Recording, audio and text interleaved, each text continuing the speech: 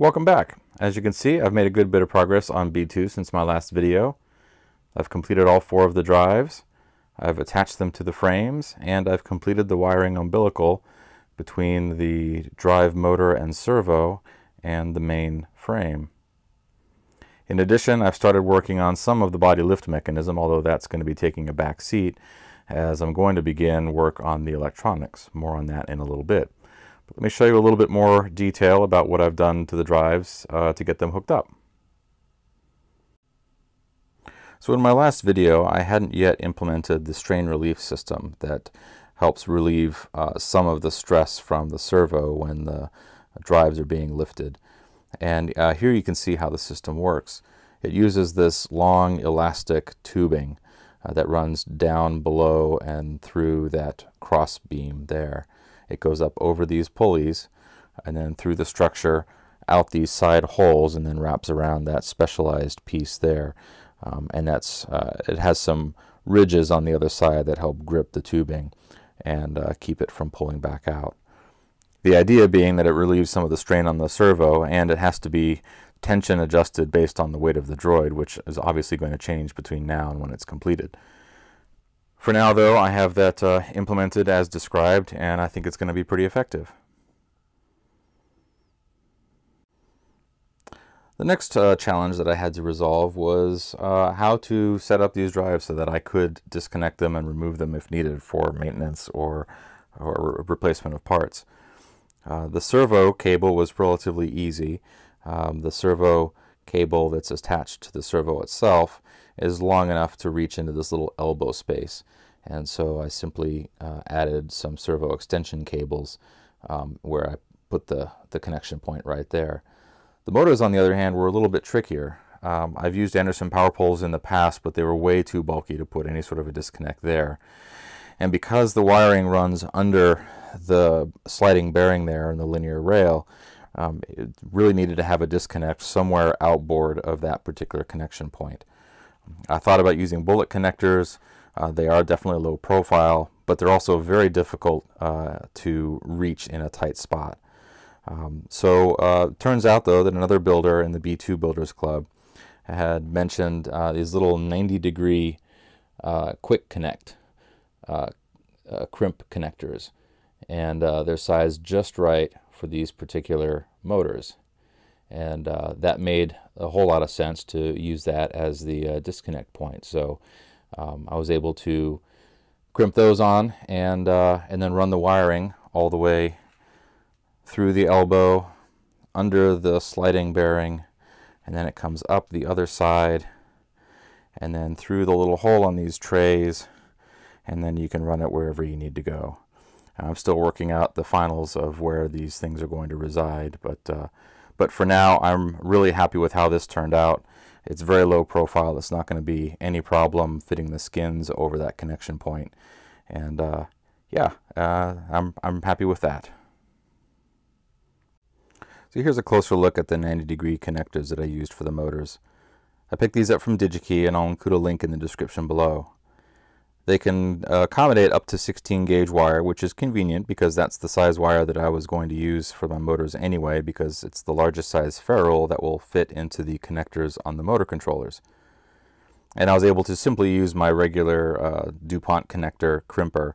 The largest uh, die there uh, says that it goes down to 18 gauge, but I was able to crimp the 16 gauge wire without much problem. One difference with these connectors though, unlike the DuPont connectors, is they only have one crimp area. They don't have a separate crimp that wraps around the insulation. So in this case, you're going to be crimping just to the wire, and uh, that's the reason why I added the shrink uh, uh, tubing around the connector as well, just to add that extra strain relief and to keep it nice and neat. So with all of that out of the way, my next major goal is to get him actually moving. But that involves, of course, a lot of electronics and control systems. So while I waited for that stuff to arrive, I started working on some of the body lift mechanism. Um, this is still very much a work in progress. Those parts are mostly just dry fitted together. But this is the, the lower lift mechanism. Uh, and over there on the shelf is part of the upper lift mechanism. And uh, this is going to, uh, there's a Lazy Susan in here Uh, that is the uh, spinning interior portion of B2's body. Um, and then there's going to be some linear rails that the uh, that whole mechanism slides up and down on.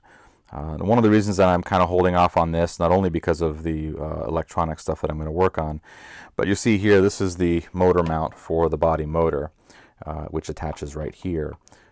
As the designs are currently, it calls for a 12 volt motor, and the drives, as you might recall, are 24 volt motors. And if you've seen my video on R2D2 electronics, you'll know that I really don't like running voltages, any more voltages than I absolutely need to. Uh, and uh, apparently a couple of the builders that built the V1 B2 did modify those files to accommodate 24 volt body motors, but those files have not yet been made available to the final release folder, and I'm not sure if I'm going to need a new base to accommodate a larger gear. Um, it kind of just depends on how all that stuff goes. So uh, unfortunately, that's kind of the next step on the body stuff, so I'm going to have to wait until that's resolved before I can continue with that. But in the meantime, um, I am looking forward to diving into the electronics here. There's not a whole lot of room for B2's uh, electronics. Let me kind of show you how all this fits together. So here he is with the lower body lift mech uh, put into place. This entire structure is actually held in with uh, six magnets that attach to the structure underneath. Um, you'll notice that there are a lot of magnets used in this build. So there's three of them on this Lazy Susan. Those are going to hold the body detail that you'll see when it's spinning. Uh, there will be magnets attached front and back on all the drives. Those will hold the shells in place. We've got body magnets here.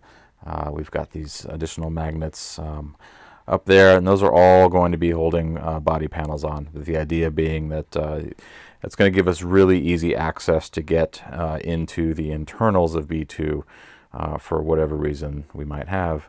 And then speaking of the internals, there really is not a whole lot of room in here. Um, down here, you've got only about three inches of vertical clearance. So um, even voltage regulators are going to have a hard time fitting in there.